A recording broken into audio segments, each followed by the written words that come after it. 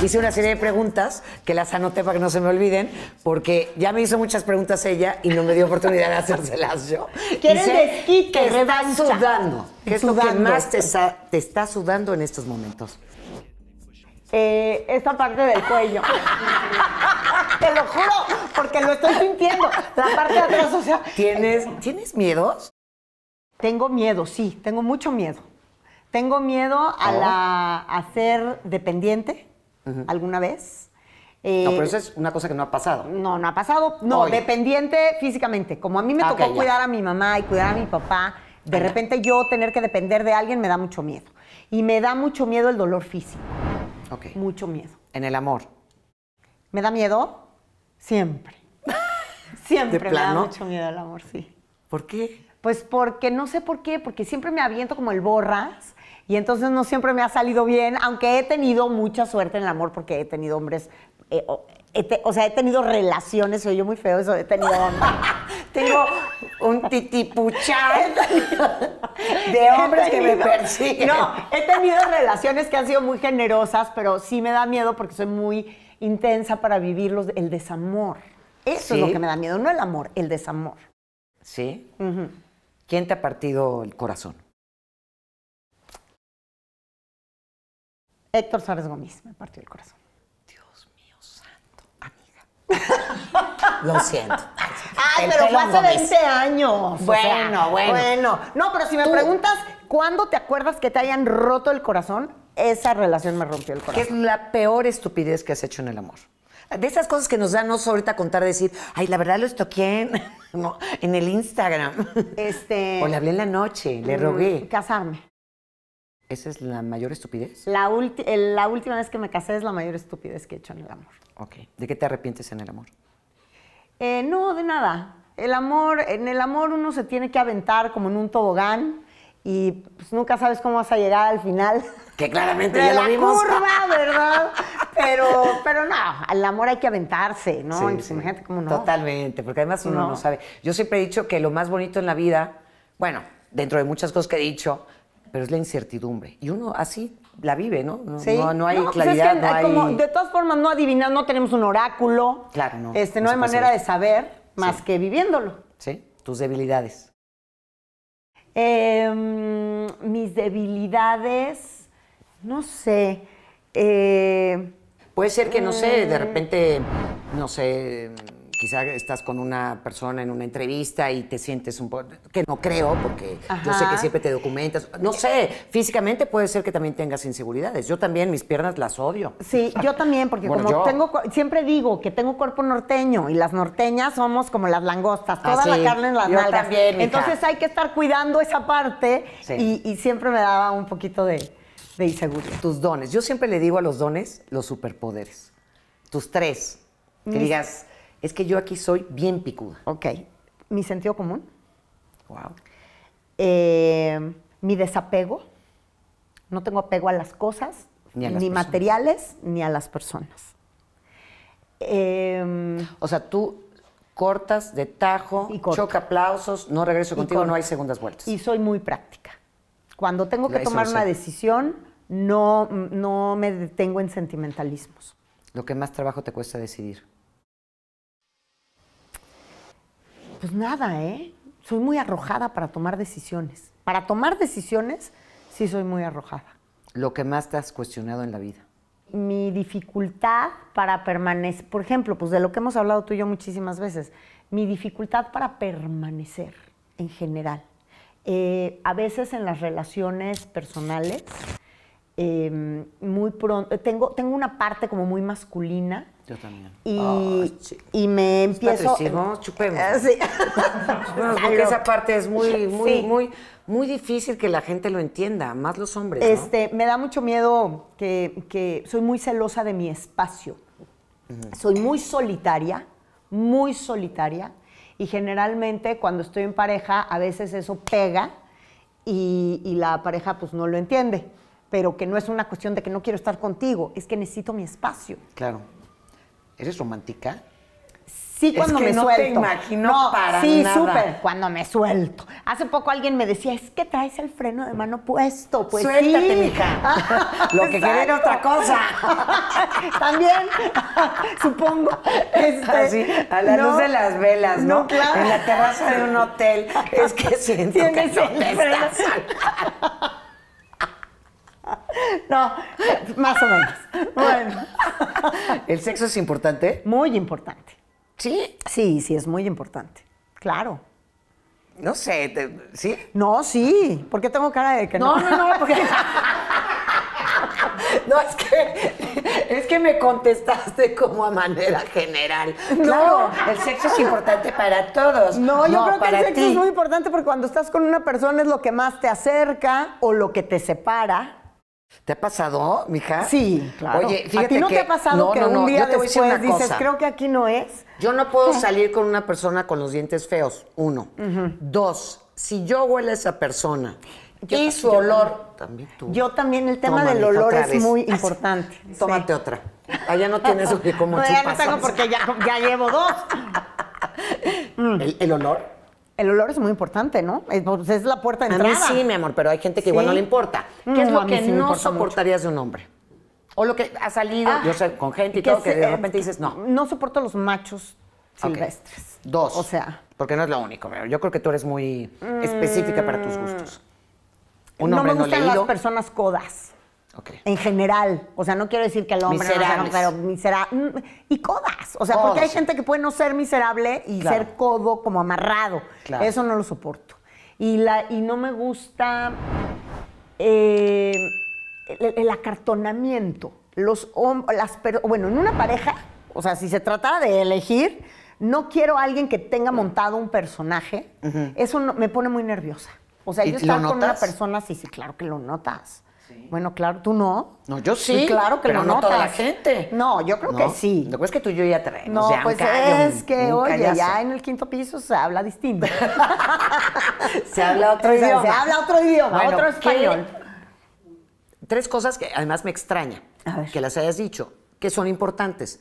Pero yo hubiera imaginado que tú siendo una persona tan preparada, culta y todo, no sé hasta dónde es eh, tu, tu rango para, para un- relacionarte con un hombre. O sea, yo te, te imagino buscando un hombre culto, inteligente. me, me importa ¿no? muchísimo. Porque- Me, me gusta mucho platicar. Digo, es- yo, siempre digo que eventualmente se platica, ¿verdad? Entonces, Yo uno tiene que tener pues, Gran conversación, no, y fondo. empatía. Empatía de temas. ¿Sabes qué sí me es muy importante? Ajá. Eh, porque a veces y eso es un consejo que siempre le doy a mi hija. Es que es importante que te emparejes con personas que han tenido más o menos la misma educación Totalmente. que tú. Porque si no, sí termina pesando. Totalmente. Sí termina pesando. Lo viajado, lo vivido, lo leído, lo comido. Totalmente. Este, y eso sí me es muy importante, que sea alguien que tenga más o menos, y esto no tiene nada que ver con una situación socioeconómica, o Nada sea, que tiene ver. que ver con una cuestión de educación en lo general. Eso sí me es muy importante. Tus placeres culposos. Me gusta la cosa malísima. La papa con chile, la- ¿de qué? Pues o sea, me ¿de comida o de qué? gusta, me gustan los villanos. Por ejemplo, te pongo el ejemplo. En Sí. las películas me voy a enamorar siempre del villano. ¿Sí? Siempre me voy a enamorar del malo de la historia. Ajá. Ese es un placer culposo. Sí. Ajá. No, son más cachondos. ¿No? Exacto. O sea, Más interesantes. eh, ¿qué placeres culposos más tendré? Es que yo te oí hace ratito con que ¿Qué me dije? trajiste un taco de res y yo dije, Es que yo no como Estaban carne. bien ricos. Pero es que no como carne. Hace comida 20 todo. años que no como carne. De ninguna. claro. Nada más humana o pescado. y la humana dependiendo Esa el idea lugar. Depende. dependiendo el Exacto. pedazo No, que no, no. te. Solo, solo como cosas de mar. No como Ah, nada de carne, de nada, ni pollo, ni pavo, ni nada de eso. De plan, ok. No más placeres culposos. No. De música, nada, de así. Ah, placer de culposo de que me guste la música No, grupera. Me no, encanta no. porque yo soy norteña, No, entonces me gusta mucho el acordeón. Eh, no, en lo Sí, general. yo soy don Ramón Ayala. y pa' Es que arriba. yo quiero saber si tienes una parte como, como oculta, como escabrosa, que puedas platicar. Porque yo te veo así como todo, eh, como ordenada en tu vida, que me imagino que has de tener tus locuras, pero quiero Sí. saber si tienes una que puedas platicar. Porque Pues es yo que- tengo mis locuras que no voy a platicar, porque Sí. ya me toca entrevistarte a ti. Pues es que no sé qué locuras puedo ¿Alguna tener. cosa así no prohibida que hayas sé, hecho en tu vida, pro- Pero dame sea? un ejemplo. Bueno, te lo has cuento, fumado pero- mota. Ay, claro, pero no me gusta. ¿Sabes qué me encanta? Ajá. Lo, lo, lo drag. ¿Lo drag? Me encanta. Yo creo que si yo hubiera sido un hombre homosexual, hubiera sido una drag queen de Nos disfrazamos un día. Ah, yo tengo quien lo hace. Bueno, aquí Ay, Nachito vamos nos puede antro, maquillar. chicos. Sí. Bueno, yo mis noches ¿qué? más divertidas han sido, este, han sido en antros gays. Aquí hay unos buenísimos aquí en la Ciudad de México. A ver, comparte Y- uno. Y me, ay, no, pues hay varios. Lo que pasa es que si digo es comercial. Este, ¿Pero vas por qué? No, pues he ¿Por qué ido porque ido? me han invitado, he ido porque me han dicho, oye, vamos a ver, por ejemplo, el mural de Chairés que está en el Marra, ahí en eh, este en la calle de Cuba, y ya estando ahí, pues nos cruzábamos a la Purísima, y de la Purísima nos Unas cruzamos al otro, y entonces aquella noche nunca se me olvidó. Esa sí fue una noche de perdición con otro colega periodista que es Beto Tavira. Ah, cómo ah, nos ese es muy. Te veo mucho en las redes con ese ¿Cómo muchachito que se ve que es divertimos fiestero. esa noche? Un día te enseñaré fotos. Órale. Dice, eh, bueno, perdón, ¿de qué nunca hablarías y qué nunca harías? Es que no tengo un tema del que no hablaría. Digamos que puedo dosificar hasta dónde llego Claro. en el tema. Que tiene que ver, por ejemplo, mi infancia. Yo tuve una infancia muy difícil. No es algo de lo que me gusta hablar. Ok. Este, eh, en cuanto a, por ejemplo, cuando me preguntan cosas de mi hija, soy muy cautelosa Claro. porque creo que todo lo que tiene que ver con la historia de mi hija y ella siendo mayor de edad, solo ella podrá decidir si se cuenta o no se cuenta. Pero no soy una persona que ande por la vida como, como guardando secretos. Sí, yo tampoco. En realidad no. Sí. Creo ¿Y que es muy difícil tener estas como do- dobles vidas. Nunca andaría con el marido o novio de una amiga mía.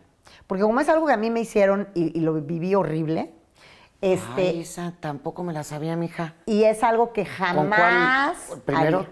segundo. No, no, no, no, no. Una noviedad. Una, un con un novio. Ajá. Este, sí, con un novio. Y, y yo sí siento que cuando eh, eres alguien que se mete en medio de una relación, eso genera consecuencias que pueden ser muy devastadoras y las personas involucradas ni siquiera se lo imaginan. O sea que nunca has sido infiel. Ah, Eso es otra cosa. No me he metido en medio intentando de que nadie termine una relación por mí. Pero tú, andando con alguien, sí has salido con alguien más. Pues alguna vez me di mi escapada, ¿verdad? Pues fíjate, ¿Para mija, que yo que no? también. Sí, sí. Fíjate O que sea, yo también. Sí, pues sí. Obvio, Pero- chofas. Sí, ¿por qué obvio? Pues, ¿por qué? ¿Cómo que por qué? ¿Me sabes algo? No, mm, lejos de lo que tú me has contado, no. Dios mío, ¿estábamos tomadas ese día o qué? No, no. ¿Qué es lo que te hace falta hoy por hoy en tu vida? Hoy por hoy en mi vida creo que estoy viviendo un momento bien padre. Soy, me siento como que he brincado obstáculos muy difíciles, airosa. O sea, me siento como que estoy En airosa. Eh, profesionalmente nunca estoy conforme, nunca. ¿Por qué, Mónica? No, Eso- porque eso- eso siempre me quiero, no, porque siempre quiero hacer mucho. algo más, porque siempre quiero hacer otra cosa, porque siempre creo que lo que estoy haciendo lo puedo hacer mejor, porque sin embargo me siento muy afortunada porque he tenido la gran suerte de poder hacer lo que me apasiona, lo que Claro. me gusta. ¿Qué es? Y que es el periodismo, que es eh, comunicar, que son mis entrevistas, que es eh, generar, pues sí, este tipo de periodismo por el que me he inclinado más altruista, más, Más activista. activista, sí. Y, y me he llevado, he tenido muchos problemas por eso, eh, amenazas y todo, y me he llevado inmensas satisfacciones. Yo creo que en la vida y sobre todo en tu trabajo, tienes que tener una causa por la cual estás haciendo lo que estás haciendo. No nada más tiene que ser eh, para Hablar ganar hablar. dinero o para mantenerte, o para, no, no, no. O para generar un prestigio en un hombre. Sí. No, no, no. Tiene que tener una causa por la cual estás haciendo lo que haces y cómo lo haces. Y, y la verdad es que en este momento, no sé, a mis bueno, yo creo que cuando esto va a salir, yo ya voy a haber cumplido 55 años, que este año cumplo 55 años, este, me siento que estoy ejerciendo una libertad deliciosa. Eh, ¿No te da miedo? ¿A qué? Por eso, cuando recibiste, sobre todo últimamente, estas amenazas, ah. ¿no te llegó en algún momento el miedo? Eh, una sola vez me han amenazado en redes sociales con una foto que sí me cimbró, porque estaba mi nombre y encima de mi nombre, o sea, era un papel con el Mónica Garza escrito a mano y encima tres balas. Y se estaban refiriendo, o sea, en el mensaje que me puso, se refería a una, a una declaración, a unas palabras que yo acababa de decir en una presentación de un libro sobre la marihuana en la FIL de minería. este, y, y yo dije que debíamos de ir hacia la legalización de la marihuana porque de otra manera era un negocio de pocos que mataba a muchos y que íbamos a seguir así de no cambiar. Y entonces me escribe un mensaje donde me dice muy respetuosamente, tiene usted toda la razón. Es, ese negocio es de pocos y para pocos no se meta usted donde no se debe de meter. Y puso mi nombre escrito a mano y tres balas encima. Aunque he aprendido con el tiempo, luego de, no ha sido la primera amenaza porque me he peleado, tú lo sabes, que me he metido en todo tipo de temas por defender causas, este, no, no ha sido la, primera vez que me amenazan y en este camino sí he aprendido que el que te quiere hacer daño va y te hace daño, no te avisa. Eso lo aprendí ahí, particularmente con, esta fotografía y con esto de las tres balas. Rápidamente, como fue en redes sociales, en aquel momento, el que era el secretario de Seguridad se comunicó conmigo directamente rápido, me dijo, a ver, y entonces entró la policía cibernética y se pusieron a ver. Y no, supieron, no, nunca supieron. No, no, pero, no, sí, sí, sí supieron, ah. pero no era nada. O sea, seguramente fue alguien que estuvo en esa presentación y, se hizo muy acá, sí, sí, sí, sí, sí, sí, Más, este, más de machín que de otra cosa. Otras amenazas de otro tipo sí he tenido, pero como soy tamaulipeca, y ya ves que allá nos llevamos como a granadazos, este, sé... Híjole, qué feo. o sea, pues sí, Qué feo, pero es cierto. Este, sé que quien quiere hacerte daño va a hacerte daño, no va a avisarte que va a hacerte daño. Claro. ¿Crees que México va a cambiar? Sí, yo creo que sí. No sé cuánto pero yo creo que somos muchas las personas que estamos cansándonos de vivir en el país que vivimos con este eh, con esta indolencia, con esta intolerancia, con esta violencia, con esta inseguridad y con este discurso de odio. Tenemos que frenarlo. Y somos la sociedad civil organizada, totalmente, totalmente. La, la, que siempre generamos los cambios y la que una vez más vamos a generar el cambio. Sí. Pero tú crees que algo, o sea, si tú pudieras cambiar algo en todos los seres humanos, en este, en este México hermoso que yo siempre he dicho, hoy lo decía en el programa, que tenemos un país increíble, ah, ¿no? con muchísimas posibilidades, con muchísimas oportunidades. ¿Qué cambiaría? Pero que está como en pausa, ¿no? Y que necesitamos como, como reactivar esta parte del mexicano de verdad consciente de, de lo que quiere realmente para este país, ¿no? Y que tiene, la verdad, tantas deficiencias, ¿no? De entrada la educación, ¿no? Que ahí estamos rezagados por completo. Pero tú qué, tú qué harías en cada una de las mentes de los mexicanos y qué tres cosas que le dirías al gobierno. Esto yo creo que sería el cambio, o la línea, el camino si yo pudiera incidir, no sé al gobierno, si yo pudiera incidir en la sociedad, haría una sociedad mucho más informada, número uno, porque eso nos hace más fuertes, eso nos hace más conscientes. Eh, me gustaría que fuéramos como seres humanos más compasivos y no en el sentido de tener esta compasión insana que se parece mucho a la lástima, no, sino de aprender a ponernos en los zapatos del otro. Nunca lo hacemos. O sea, lo hacemos muy poco. Yo creo que tenemos que ser más... Em, no sé qué tendría yo que hacer, pero sé que yo quisiera saber qué puedo hacer para desenojar a la sociedad tanto. Estamos viviendo una sociedad iracunda, nos hace daño, hacemos daño y así no vamos a salir adelante. ¿Qué le diría al gobierno? Que no mienta, nada más. Qué fuerte. Yo le diría otras cosas. Ok, vámonos a ti. ¿Tenemos tiempo? Todavía no llega nuestra Cinco siguiente chaparrita.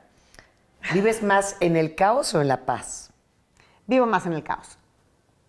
Sí, pues yo quisiera decirte que más en la paz y que soy súper zen y, ¿para qué te miento? Si estoy diciendo que no mientan y ahí voy yo a no predicar con el ejemplo, Salud. ¿verdad? Eh, Híjole, yo sigo chupando y Tú tú sin chupa, tú tequila. chupa, sí. Mm. Un día de tuyo, es que yo como siempre veo a Mónica en fa, en ustedes en el programa, o sea, yo me imagino su día de lunes a viernes y digo, estoy agotada de pensarlo, pero ¿cómo es un día desde que te levantas hasta que te duermes y un día de paz en la vida de Mónica, o sea, el fin de semana, ¿qué haces? Me levanto a las 5 de la mañana, cinco y media de la mañana, ya cuando es día de fiesta. Dios santo. Este, lo primero que hago es agarrar mi celular y ver si no hay algún mensaje de mi producción del noticiero para ver. Y tengo además una, eh, pues digamos, un centro de alertas donde puedo ver qué cayó durante la noche en la redacción. ¿no? Entonces veo cuáles son las últimas noticias o las noticias de las Sí. últimas dos horas, porque eso modifica la entrada de mi noticiero. ¿no? O sea, yo puedo dejar algo armado en la noche, pero en la mañana se puede modificar totalmente. Eh, si tengo alguna duda, si no se confirmó una entrevista que yo había dejado encargada, entonces en ese momento empiezo a pensar en mi plan B. Yo siempre soy alguien que estoy pensando en, en tener un plan B. En la vida, en el En trabajo, en todo, tengo que tener un plan B. Entonces, bueno, fulano de tal no confirmó, entonces ahorita rápido, ¿a quién vamos a buscar para tal tema? Sí. ¿no? Entonces empiezo a operar desde, desde esa hora. Eh, pues nada, me meto a bañar de enfriega, corro, me tomo un café, es todo con lo que llego al noticiero. ¿No desayunas? Llego, no desayuno hasta como las diez y media de la ¿Es mañana. desayuno intermitente? Porque, pues sí, pues sí, no de alguna ¿ah, sí? manera sin querer, sí. Ah. Y entonces eso, y luego este, me voy al noticiero, estoy dos horas al aire, salgo y de ahí eh, algo hago, a veces algunas cosas de oficina, otras veces me vengo a mi casa u otras veces tengo cosas que hacer fuera o alguna conferencia o, voy a algún evento. Ah, participo mucho en, en distintas agendas de derechos humanos. Sí. Eso me tiene muy ocupada todo el tiempo. Escribo una columna semanal en el diario La Razón, reporteo la columna. Entonces voy, vengo este, sacando información. Eh, con Matilda, pues tengo todo el tiempo estoy pendiente de ella, entonces si no me voy a comer con ella, me voy, ¿no? Sí, entonces sí. trato. Ahorita estoy viviendo una vida, estoy empezándome a inventar una vida distinta porque desde que murió mi papá, ya no está mi papá. Sí. Entonces yo me hice cargo de mi papá junto con mi hermana chica los últimos dos años de su vida. Que te ocupaba Y mucho me tiempo. ocupaba muchísimo. Yo Claro. salía del noticiero y religiosamente me iba a, a tomarme un café a casa de mi papá. Sí. Este, hoy ya no tengo ese gran espacio, Espacio. Que, que me, que claro, estoy viviendo un momento en el que estoy descansando, pero también me hace mucha falta, estoy acostumbrando. Matilda, mi hija, se fue a vivir sola hace poco, entonces eso también cambia la dinámica de mi vida, porque también era llegar y ver si Matilda seguía en la casa, si había salido, si a dónde iba, si qué iba a hacer, si Sí, ya comió, sí, sí, sí. si no comió, porque tus hijos pueden tener 50 años y tú Claro. sigues mortificada. por Totalmente. Te si ya comió, el suéter. ¿verdad? Exacto. ¿No? Entonces, ahorita estoy reinventándome una vida con, con una sola responsabilidad que soy yo. Qué bonito. ¿No? Entonces, este. Pero ya no me... pues así. ¿Y en la noche llegas cenas? Ah, no, pues depende. Sí. Porque generalmente tengo comidas. Sí. Este, y si no tengo, no, no hago cenas, salgo muy poco en la noche cuando son eventos importantes de la empresa o cosas así voy, o de amigos, tengo Sí, muchos claro. amigos actores, y entonces si hay un estreno de teatro o cosas así, me gusta, voy, sí. pero lo hago muy poco porque No si no me quedo, no, no entre semana. El fin de el fin de semana se- me encanta hacer fiestas, me encanta hacer cenas en mi casa, comidas. Aquí las comidas duran de Sí. 2 de la tarde a 2 de la mañana de dos días después. Sí, sí, este, Me encanta recibir gente en mi casa, pero un día de descanso para mí es quedarme abrazada del loto, de mi perra, todo el día viendo una serie o viendo películas. Eso también me da un enorme placer. Sí. Y, Y- ya para cerrar, porque ya, no, ya me dijeron hace como 10 que me faltaban Sí. 5.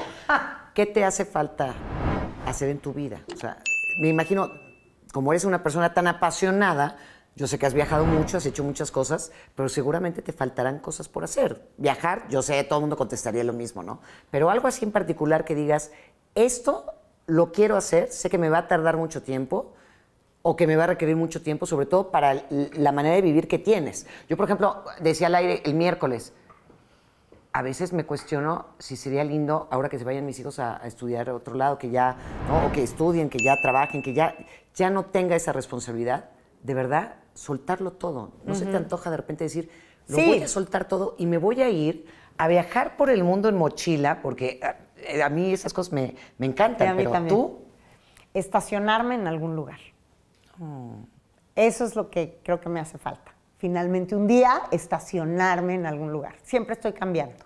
De niña, por la situación con mis papás y mi situación familiar y tal, me mudé muchas veces de casa y me acostumbré. Entonces, algo a lo que más acostumbrada estoy en la vida, por eso cuando me dicen, pues ya se acabó tal proyecto, ya se acabó, pues sí, en el momento como que me pega, pero luego digo, next, lo que sigue. Porque desde niña me cambiaba de casa, me cambiaba de país, me cambiaba de situación, me cambiaba de todo. Eh, y cuando parece que me voy a estacionar, como que me pican pulgas en las pompas y no me puedo estacionar. y de así te pasa en todo. Ahí así me pasa en todo. Entonces, ¿qué es lo que yo quisiera un día? Que algo o alguien lograra que yo me estacione en un lugar. Chicos, aquí está la propuesta. Mónica Garza busca a alguien para estacionarse. No, no, no, no, no, no, fue. No, alguien puede ser un nuevo jefe de trabajo. Claro, o sea, claro, un programa. ¿Me ¿no? entiendes? Bueno, pero sí podrías estacionarte con todo. Con alguien, con un trabajo y no te picaría la cola. Así. Este. Porque tu personalidad Sí, la veo yo difícil. creo, que, ¿eh? yo creo que sí, ¿no? O sea, a lo mejor a los 25 no, pero No, ahorita a los 50 70, mija, yo si no lo sí. logramos. Esperemos que sí. Traemos broncas, ¿no? que sí. A terapia. Así Gracias. es. Gracias, Mónica, mi te chopa. quiero. Yo te quiero mi amor. más. Gracias. Gracias.